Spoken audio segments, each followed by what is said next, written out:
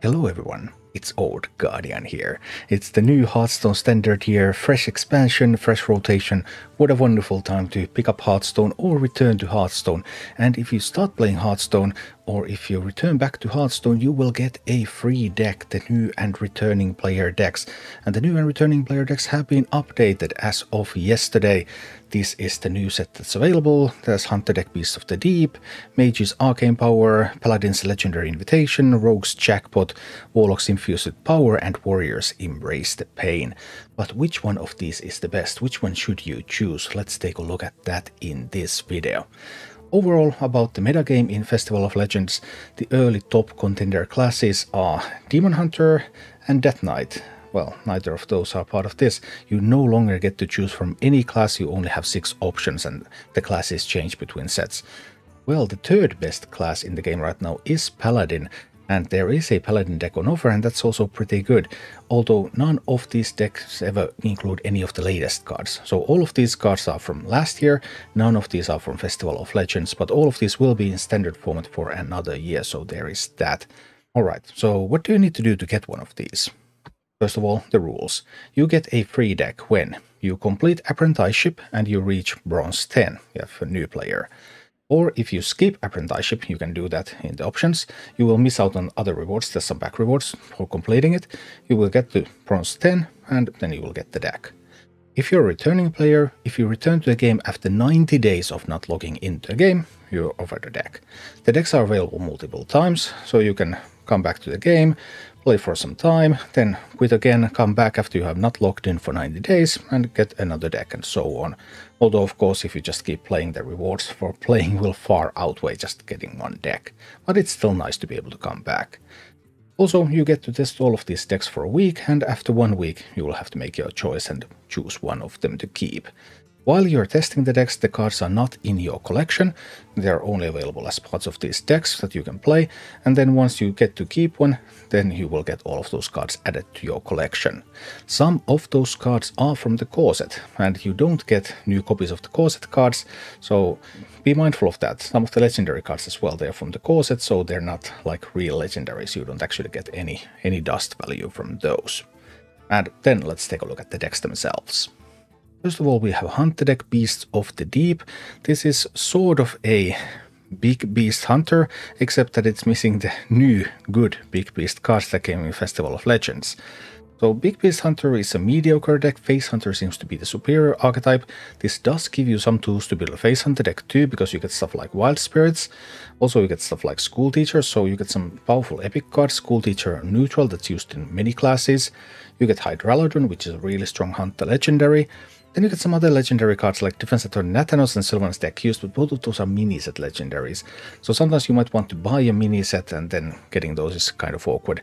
Although that might also save you from buying the mini set when you get the important cards already like this. So this is okay, nothing great, but not terrible either.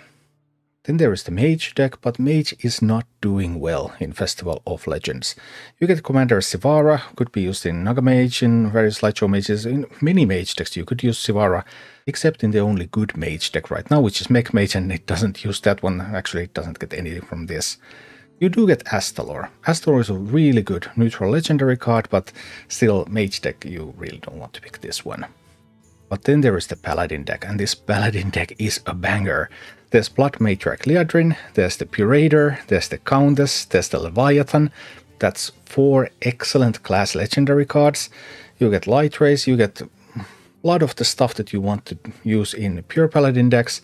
This deck is just fantastic. It gives you so many pieces to build. Sure, Purator is a mini set card, but that might also just save you from buying the mini set, because you already get the good mini set stuff, like Purator Class Action Lawyer here, so yeah, this is this is a wonderful deck, a lot of value. The only downside maybe is that it's a pure paladin deck, so all the cards are paladin cards, it doesn't give you anything for any other classes, but still a great choice. And then there is the rogue deck, and the rogue deck has the most dust value. I mean, Queen Azshara, Potion Master Putricide, Astalor Bloodsworn, Krakatoa, Shadow of Demise, five excellent legendary cards then like this Greymane is from core set, so that's not real legendary card in that sense. But five excellent legendary cards in this one, two of them are neutrals. Queen Azshara currently sees play in Face Hunter, Astalor Bloodsworn sees play in multiple classes. This gives you all the best rogue legendary cards, even though rogue is struggling at the moment. But this does give you all the best legendary rogue cards and two neutrals, so this is still a strong option. And then there is the Warlock deck, which is a Curse Imp Warlock. Curse Imp Warlock doesn't see a lot of play right now, Pure Imp Warlock sees more play. And out of these legendary cards, Imp King Rafaam, Lady Darkvein, Za'qul, Imp King Rafaam is a card that is used in all kinds of Imp Warlock deck because it has a lot of synergies with Imps, of course. So this is sort of okayish, but it's a little bit too slow as an archetype for the current meta. Those Demon Hunters, those Death Knights, they're just a little bit too fast. This can struggle to beat them. It does give you some pieces that if you want to build into some other Warlock decks, you have tools to do that, but still a fairly mediocre choice. And finally we have Warrior, which gives you some Warrior legendary cards, but none of them are very good. Decimator, Olgra, Torriblore, Nellie. This deck is... this is not good. This just... this just isn't very good. Don't, don't pick this one.